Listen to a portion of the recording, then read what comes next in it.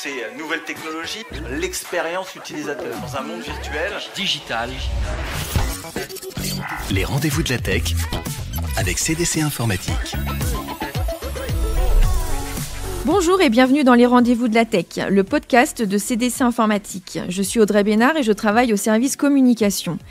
Aujourd'hui, nous allons parler de l'intelligence artificielle et préservation de l'environnement. Alors, est-ce que ces deux notions peuvent faire bon ménage?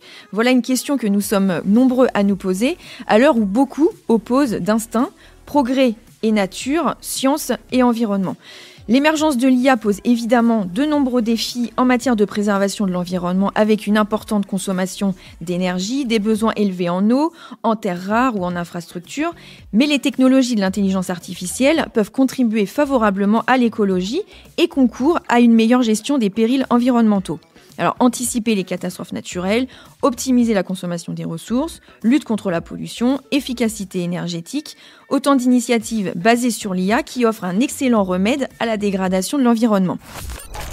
Les rendez-vous de la tech avec CDC Informatique. Alors aujourd'hui, c'est avec plaisir que je reçois Céline Pâtissier, qui est co-autrice du livre IA et environnement, alliance ou nuisance. À ses côtés, Renaud Ayoutz Lefebvre, qui est directeur RSE de Open Studio à Paris.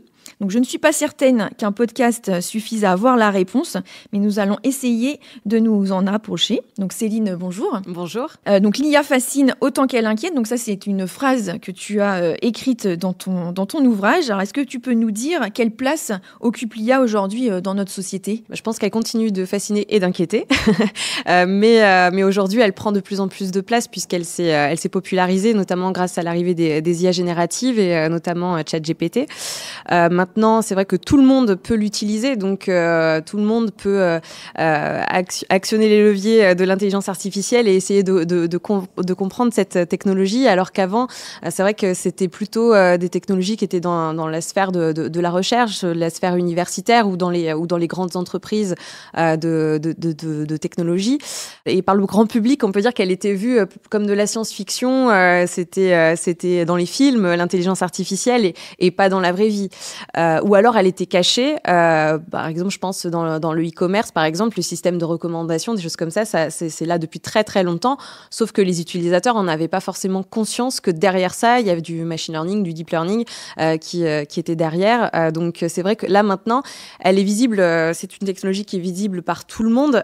tout le monde peut s'en emparer. Et donc évidemment, ça pose des, des, des, problèmes puisque euh, forcément euh, elle fait toujours peur malgré tout. Donc c'est pour ça qu'on continue à faire ce travail euh, de, de vulgarisation.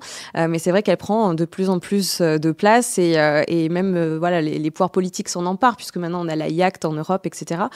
donc on peut dire que oui, c'est une nouvelle révolution. Renaud, est-ce que tu veux compléter? Bonjour Audrey. oui, volontiers. Je vais peut-être dire d'où je parle avant de, de, commencer. Donc moi je suis directeur de l'agence de Paris d'Open Studio est euh, en charge de la RSE. Open Studio, c'est une entreprise de services numériques euh, qui a euh, plus de 18 ans. Et dans notre ADN, on a toujours eu l'open source, c'est-à-dire voilà, le, logiciel libre.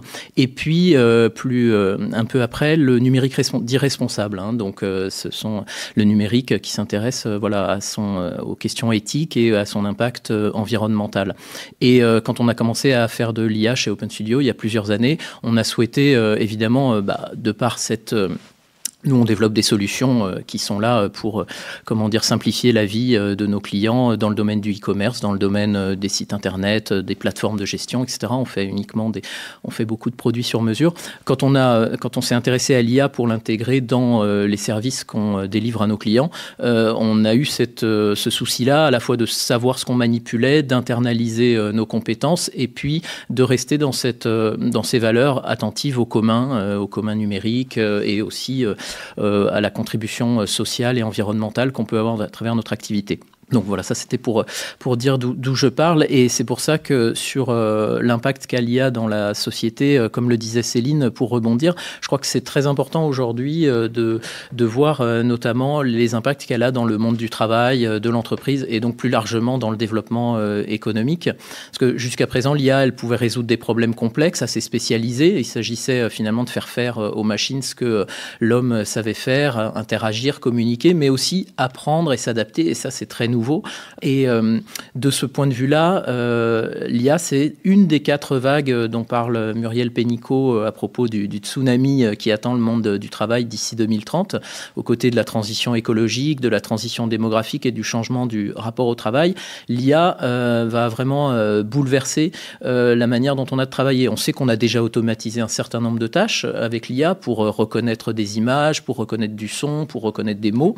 ça, ça permet d'automatiser des tâches sûrement fastidieuses. Mais aujourd'hui, ça permet aussi d'assister l'humain et de l'assister dans des tâches très intellectuelles. On, voilà, on vient de le, de le, dire à travers les IA génératives. donc, l'assister et peut-être le remplacer, comme ça l'a fait sur des chaînes de production. Et de ce point de vue-là, c'est là que ça, forcément, la, comment dire, l'enjeu devient de plus en plus fort et euh, les enjeux éthiques et environnementaux, on va en parler, euh, sont également très importants. Donc ce qui euh, jusqu'à présent paraissait de la science-fiction devient la réalité et c'est toujours intéressant parce qu'on s'aperçoit que parfois on était un peu en avance dans la science-fiction sur ce qu'on peut vraiment faire, mais des fois on est presque en dessous de, de ce qui se voilà de ce qui se dessine et je pense que sans que voilà on reste dans le domaine du fantasme, il est très important comme on le fait là de s'intéresser au sujet et euh, éventuellement de, pouvoir poser des jalons euh, pour pouvoir l'utiliser à bon escient. Donc justement, si on, se cantonne, enfin cantonne, à l'écologie, les exemples évidemment sont nombreux. Euh, est-ce que Céline, tu peux nous, nous, dire un petit peu dans quel domaine l'IA pourrait être une solution pour faire face aux défis environnementaux? Alors l'IA, ce sont des solutions multiples hein, qui, sont, qui sont développées par souvent euh, la sphère privée, aussi euh, la sphère publique à travers, à travers la recherche. Euh, l'intérêt de l'IA, c'est sa puissance, hein, et, effectivement, et sa capacité à analyser une grande masse de données, le big data, ce que n'est pas capable de faire l'humain. Donc c'est vrai que l'IA sait faire des choses que sait faire l'humain, mais elle sait faire des choses que ne savent pas faire les humains. donc c'est là aussi tout, son intérêt. Et donc c'est vrai que cette, cette puissance, cette force de frappe et l'efficacité de, de, ces résultats et leur fiabilité euh, sont, très importants sur, euh, sur la lutte contre le réchauffement du climat, puisque on sait qu'il y a urgence et euh, avoir un, outil aussi puissant entre les mains et s'en servir à bon escient pour l'environnement, ça paraît, logique. Dans les exemples concrets qu'on donne dans, le livre, je pense par exemple aux smart cities, aux villes intelligentes. Aujourd'hui, on sait que les villes sont, sont très polluantes, c'est, je vous apprends rien là-dessus, mais il y a des solutions d'intelligence artificielle qui permettent de résoudre des problèmes euh, typiquement euh, sur euh, la pollution des, bouchons. on a une solution qui s'appelle Odevia, qui est produite par, par l'entreprise Odeven et qui en fait développe une application de, de, l'IA qui gère les feux rouges grâce aux données mobiles des, des, utilisateurs, donc Waze par exemple, et qui permet donc de fluidifier la circulation et d'éviter que les, les, les, voitures stagnent et, et polluent. donc voilà, on sait qu'à Paris ça pourrait être utile, notamment c'est en plus donc euh, ça évite la pollution, mais c'est un gain de temps. Donc euh, voilà, c'est le double effet. C'est gagnant-gagnant. voilà, c'est gagnant-gagnant. Euh, mais on peut aussi évoquer la biodiversité, notamment dans les, dans les océans. donc grâce à l'intelligence artificielle, on peut avoir des, des chalutiers, par exemple, qui vont reconnaître certaines espèces et ne pêcher que les espèces qui sont ensuite euh, vendables sur les marchés, etc. Et pas euh, tout, euh, tout le reste de, de, des poissons et autres crustacés, etc. qui, eux, vont être jetés. Enfin, voilà, donc c'est là-dessus aussi que ça peut jouer. Enfin, ça, c'est d'exemples, vraiment, c'est des micros-exemples parce que c'est il y, en a, y en a énormément. je pense aussi à l'agriculture, qui est quand même un gros poste de, de, de pollution aussi, où là, on a des solutions, par exemple, de d'intelligence artificielle avec des capteurs euh, qui vont me permettre de donner, euh, d'aider à la décision les, les agriculteurs euh, pour qu'ils puissent bah, mettre juste les, on va dire le, le, nombre de pesticides qu'il faut et le rationaliser. Attention, là tu, tu, te lances dans une thématique voilà, à l'heure actuelle. attention. Non, non, voilà. Donc il y, y, a des solutions en fait technologiques qui peuvent aider aussi, voilà, les agriculteurs à peut-être rationaliser l'eau. Il y a beaucoup de choses qui peuvent. je sais que je suis sur un terrain glissant. Mais grâce... chacun, chacun peut apporter sa pierre à l'édifice. C'est ça, voilà. Donc dans tous les domaines, en fait, finalement finalement, l'intelligence artificielle peut permettre de rationaliser les choses et d'être moins impactant sur, sur l'environnement. je pense aussi aux économies d'énergie. Donc, par exemple, dans les entreprises, de savoir où on a des postes qui sont énergivores, donc les identifier et pouvoir ensuite résoudre, résoudre les problématiques. Donc, là-dessus, l'intelligence artificielle voilà, a de nombreuses applications très puissantes. Donc, le numérique, on le sait, hein, peut tout autant euh, augmenter notre empreinte euh, environnementale que nous apporter les opportunités pour la réduire et accélérer la transition. Moi, j'y vois personnellement un, beau paradoxe. Euh, on recourt à plus de technologies pour faire face à un péril qu'elle-même engendre.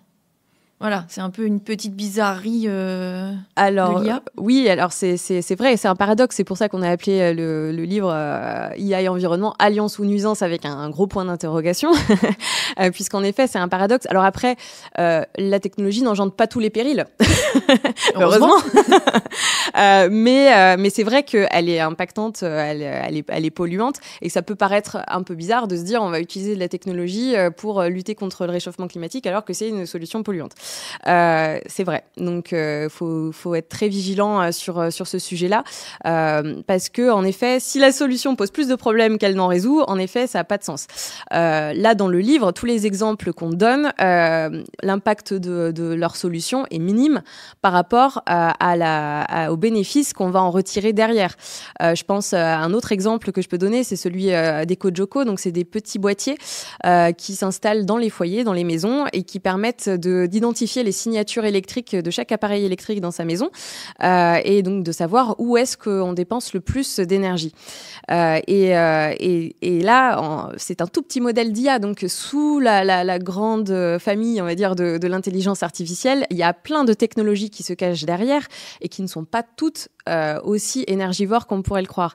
Et derrière, les économies engendrées par ce petit boîtier vont être bien plus importantes que le peu de dépenses que lui va engendrer. Donc c'est tout l'intérêt en fait de savoir si cette, utiliser cette technologie-là va être vraiment utile ou, c'est, ou, ou, elle est simplement futile. Et là, en effet, ça n'a pas, ça n'a pas d'intérêt. Je rebondis sur ce, paradoxe que tu as souligné, Audrey. Moi, je suis tout à fait d'accord. Il est, on peut effectivement appeler ça un, paradoxe. Et je crois que ce paradoxe, il nous aide à penser, euh, donc P-E-N-S-E-R, parce que euh, dans le domaine de l'IA et plus largement dans le domaine du numérique, de la technologie et de ses impacts, il y a beaucoup à penser, euh, P-A-N-S-E-R, parce que euh, l'état de fait, on le connaît, il a été maintes fois euh, rappelé ici, le numérique, c'est 3 à 4% des émissions de gaz à effet de serre dans le monde, 2,5% en France, enfin ce sont des, des estimations, mais surtout le plus inquiétant, c'est à travers ce qu'on appelle l'effet rebond, c'est-à-dire l'augmentation des usages qui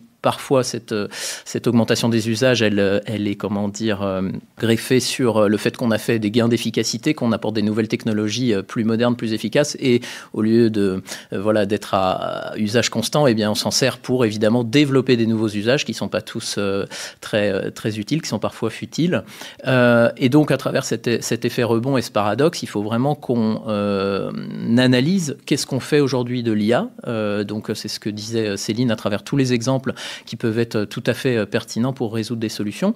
Et puis aussi, euh, peut-être orienter euh, les types d'IA qu'on va utiliser pour revenir voilà, sur ChatGPT qui a été cité. On sait que quelques requêtes, c'est sans doute la consommation d'un demi-litre d'eau. Alors, quand on sait qu'il y a 200 millions d'utilisateurs potentiellement et qu'on multiplie, on, imagine au quotidien l'énergie, l'eau et puis évidemment toutes voilà, les ressources abiotiques qui ont été utilisées pour faire tourner les serveurs dans ce, dans ce domaine-là, euh, on peut aussi orienter euh, à la fois les, euh, les types d'IA qu'on va utiliser ou dans les types de recherche en IA qu'on va développer. Du côté d'une IA frugale, il y a actuellement, par exemple, un, groupe de travail et des réflexions au sein de l'AFNOR qui, sont, qui évidemment s'appuient sur les recommandations des chercheurs et d'autres types d'IA qui, qui, qui, sont nés à la même époque. Enfin, comment dire, voilà, il y a beaucoup de courants de l'IA hein, depuis les années 50.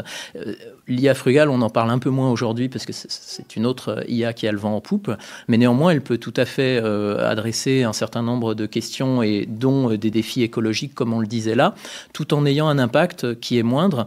donc, il ne tient qu'à nous, finalement, de s'intéresser au sujet pour essayer de mettre en valeur d'autres voies à explorer ou pour les voies qui sont vraiment problématiques puisqu'elles peuvent causer plus de problèmes qu'elles n'en résolvent, eh bien, c'est là où je crois que ça, c'est vraiment euh, l'intérêt de, ce genre d'émission et puis euh, de, participer à des groupes de travail sur le numérique responsable, de faire du lobbying auprès euh, des décideurs, avec les associations, avec les groupes, groupements professionnels, avec les, intellectuels, les chercheurs, les penseurs, pour indiquer que si on ne pose pas aujourd'hui des limites, comme on a pu le poser avec le RGPD en Europe, hein, voilà, je pense que c'est un bon parallèle, on voit les effets positifs que ça a eu, et eh bien à travers la Act, et il faut quand même euh, aussi euh, qu'il soit suffisamment euh, opérant. Hein. donc il faut encore continuer à, faire en sorte qu'il puisse vraiment porter tous ses effets.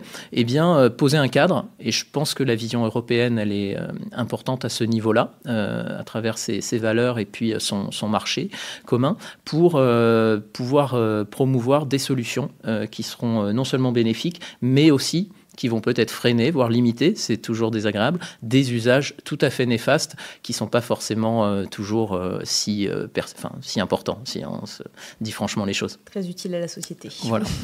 Et justement, dans la préservation de la planète, quels sont les, bénéfices concrètement que peut apporter l'IA ce, qui, ce qui est important, c'est ce que je disais tout à l'heure, c'est sa puissance en fait. là, on voit déjà les impacts du réchauffement climatique, on, les ressent, ils sont là euh, le GIEC fait des rapports euh, tous les ans, donc euh, on, va peut-être commencer à comprendre que là, il y, a quand même un vrai problème. donc l'intelligence artificielle, c'est qu'une aide. C'est un outil parmi d'autres outils. Ce n'est pas la solution pour résoudre tous les problèmes de la Terre. Hein. On est bien d'accord avec ça. en revanche, ça serait, je pense, oui, un peu idiot de se priver d'un tel outil et de, de cette puissance-là sur l'urgence qui arrive devant nous. quoi qu'il en soit, c'est vrai que ça peut être un petit peu, euh, euh, comme on repart du paradoxe, c'est vrai que ça peut être un petit peu compliqué de se dire euh, est-ce qu'il ne faut pas revenir plutôt à, la deux chevaux et, on a et on arrête toutes les technologies. Ça consomme beaucoup la deux chevaux. non, mais on revient à la low-tech et puis voilà. Sauf qu'on sait que dans notre société, ça va être très difficile de faire accepter un retour en arrière pour moins polluer. Donc les entreprises vont continuer à se développer. Enfin voilà, donc faut être réaliste aussi avec les avec avec la société actuelle euh, et les problématiques qu'elle engendre et avoir quand même ce, cette, euh, cette capacité d'être conscient et d'utiliser bah, les outils comme l'intelligence artificielle euh, de la bonne manière pour des causes importantes. Il y a l'environnement, il y a la santé. Voilà, dans, ces, dans ces domaines-là, l'intelligence artificielle, c'est quand même assez fabuleux les résultats qui sont qui qu'elle arrive à, à, nous donner. Donc, être contre le progrès, je ne crois pas que ce soit la solution non plus pour pour lutter contre le réchauffement euh, du climat. Et, de toute façon, je ne crois pas que ce soit dans ce sens-là que la société va aller. Il faut cibler en fait euh, ces combats. Il faut cibler ces combats, c'est évident. Prioriser. Euh, prioriser les utilisations, les applications, comme l'a dit euh, justement euh, Renaud. Euh, maintenant qu'on a tout ça, que c'est visible, il faut que les pouvoirs politiques s'en emparent, il faut qu'on régule, parce que je crois qu'on s'est fait dépasser, on parlait de fantasmes tout à l'heure et de, science-fiction, on s'est fait dépasser par la rapidité avec laquelle l'IA a émergé et est devenue aussi, aussi intéressante et, puissante pour que tout le, et tout le monde a envie de l'utiliser maintenant. Donc c'est là où, où c'est où c'est un petit peu compliqué. On parlait des IA frugales. Euh, c'est aussi des économies euh, financières. Euh, moins on consomme d'électricité, plus donc plus l'IA va devenir accessible et se démocratiser, mais plus on va avoir d'applications d'IA. Donc là, on a un bel effet, on a un bel effet rebond. Donc c'est vrai que c'est quand même une question compliquée et, à résoudre. Si je peux compléter, euh, au-delà du débat, euh, par exemple low-tech, euh, high-tech, parce qu'en ce qui nous concerne chez Open Studio, ça nous arrive de, promouvoir la low-tech assez régulièrement pour les usages auxquels elle peut répondre. Et en plus, ce n'est pas un retour en arrière, ce sont souvent des solutions très astucieuses, mais qui tiennent compte des, limites planétaires. donc voilà, il y a aujourd'hui un, mouvement vraiment passionnant du côté de la, de la low-tech. Et tout ça est très complémentaire parce que, en fait, et là c'est un peu le directeur RSE qui parle, nous, notre but, c'est un petit peu de s'inspirer de l'économie du donut, c'est-à-dire de rester dans cette zone sûre pour l'humanité entre la réponse aux besoins euh, humains. Euh, et on sait que le plancher des, besoins sociaux, il n'est pas encore acquis partout, hein, euh, ni en France, ni encore moins dans certaines zones de la planète. Mais en même temps, rester sous les, sous les limites planétaires, alors qu'on en a allègrement dépassé 6 sur 9. donc, mais cette zone sûre, elle peut, elle peut exister. Et de ce point de vue-là, aujourd'hui, l'IA, elle peut répondre aussi à des défis pour aujourd'hui peut-être nourrir la planète, pour euh, faire en sorte que la santé euh, pour toutes et tous soit garantie. Euh, donc, on, a envie de dire, ça, il faut, il faut s'en saisir. Le, problème, il vient plutôt des, de, de, cet effet rebond et de son usage pour des, des utilisations non, non utiles, d'une part, et aussi le fait de se dire que si certains domaines doivent croître, comme le domaine de la santé ou de l'alimentation, parce qu'on en a besoin pour tous, d'autres euh, doivent décroître euh, parce que euh, se développent de manière exponentielle et ne pourront pas donc se continuer ainsi. Donc en fait, il faut plutôt, je crois, réorienter les usages de l'IA vers les domaines voilà forte valeur ajoutée du point de vue social et les réussir à les limiter là où on risque de dépasser les, limites planétaires du point de vue de son utilisation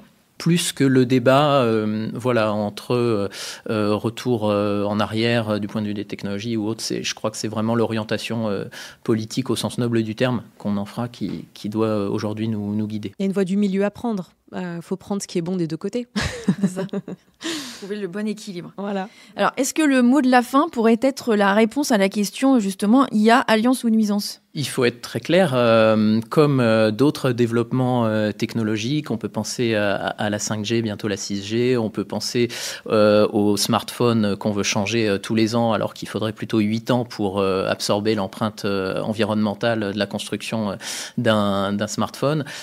comme bien des éléments voilà, technologiques et commerciaux, il faut le dire, de ce domaine-là, actuellement, la tendance peut être plutôt du côté de la, de la nuisance euh, par rapport à tout ce qu'on vient de dire sur la consommation énergétique. Ou, euh, sauf que c'est, euh, ce n'est pas euh, comment dire une fatalité. Euh, c'est pas euh, en l'occurrence la technologie qui le qui le guide. Ça c'est vraiment l'usage ou les mésusages plutôt de la de la technologie. Donc nous notre idée c'est c'est bien de se servir de ce paradoxe comme tu le disais, d'essayer de, de l'éclairer pour orienter eh bien l'IA et l'environnement vers une alliance. On a des exemples que Céline a cités abondamment qui y répondent. On sait aussi qu'il y a d'autres voies explorées dans la technologie qui peuvent aujourd'hui tenir compte des limites planétaires. Bien des, chercheurs et des entreprises euh, ont cette euh, idée-là. On va même aujourd'hui, euh, du côté de certaines entreprises, vers ce qu'on appelle l'économie dite régénérative, parce que non seulement on, a, on va devoir réduire et limiter, mais aujourd'hui on sait qu'il faut aussi réparer. Et je crois qu'il faut être très clair entre nous. pour réparer, la simple, enfin la sobriété qui, est un point euh, quand même important, ne suffira pas toujours pour, euh, pour réparer. Donc euh, on aura besoin aussi de finalement tous les savoirs et toutes les inventions et toutes les technologies qu'on a été capable de, de développer jusqu'à présent pour les mettre au service de la réparation. Donc je crois que ça peut devenir une alliance et que l'IA, elle a son rôle à jouer dans cette économie régénérative et dans la réparation du vivant qu'on a, pu qu'on a pu abîmer.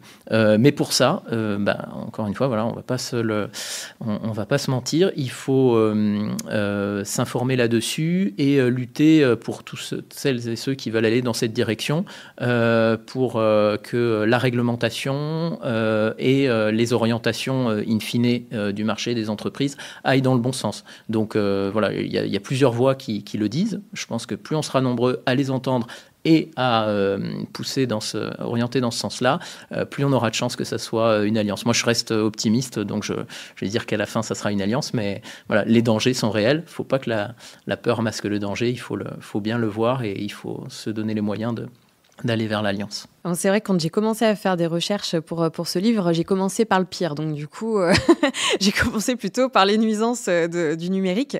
Euh, et, euh, l'IA fait partie du, secteur du numérique. Hein. C'est qu'une petite partie finalement euh, du numérique. Euh, la problématique de l'IA, c'est que comme c'est très énergivore euh, et que donc ça, utilise beaucoup de terminaux pour l'entraînement des modèles, parce que ça les use très vite, ça, la problématique de l'IA aussi, c'est que bah, derrière ça, donc il y, a de plus en plus de data centers puisqu'on a de plus en plus euh, d'usages euh, et d'applications euh, de, l'IA. donc pour les capteurs, il y a besoin de terres rares. Enfin voilà, tu l'as dit en introduction très bien, c'est il y a beaucoup d'impact quand même lié à ça. Donc c'est vrai que quand j'ai commencé par cette partie-là, évidemment, je me suis dit oulala, c'est dangereux. C'est plutôt un danger. Et ensuite, je suis allée chercher ce que pouvait faire l'IA pour l'environnement. Et là, quand j'ai vu la multitude d'exemples d'entreprises euh, qui, euh, qui, qui, utilisaient l'IA euh, pour développer des solutions vertueuses pour l'environnement et, parce que là c'était mon sujet, mais pour d'autres pour d'autres sujets sociétaux, je me suis dit en fait non, on peut pas être manichéen en fait sur cette question de l'intelligence artificielle. c'est pas bon ou mauvais, c'est bon et mauvais. C'est simplement qu'est-ce que l'humain va en faire derrière euh, Parce qu'on parle d'intelligence artificielle, mais derrière, il faut de l'intelligence humaine. C'est ça qui compte, finalement. Euh, et donc, euh, moi aussi, je suis positive. Je pense que si tout le monde se met en ordre de marche, que les entreprises, que les, politiques vont dans le sens d'une régulation de l'utilisation de l'IA et, et, mettre l'énergie sur, la thématique de l'environnement, on peut aller vers l'alliance.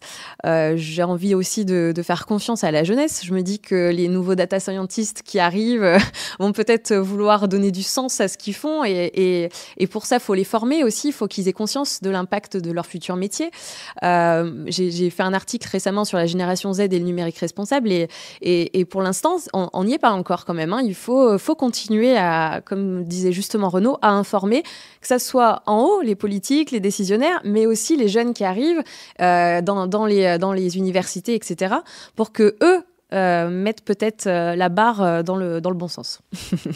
Eh ben, écoutez, merci beaucoup pour, pour vos interventions, Céline et Renaud. C'était fort, fort instructif.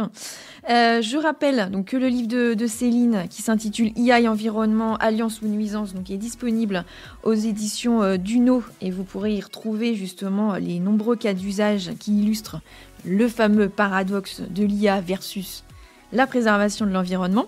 Merci à tous les deux pour, euh, pour votre intervention. Merci Audrey. Merci. Donc ainsi s'achève euh, cet épisode des rendez-vous de la tech et on se retrouve très vite pour une nouvelle thématique. À la prochaine. Les rendez-vous de la tech avec CDC Informatique.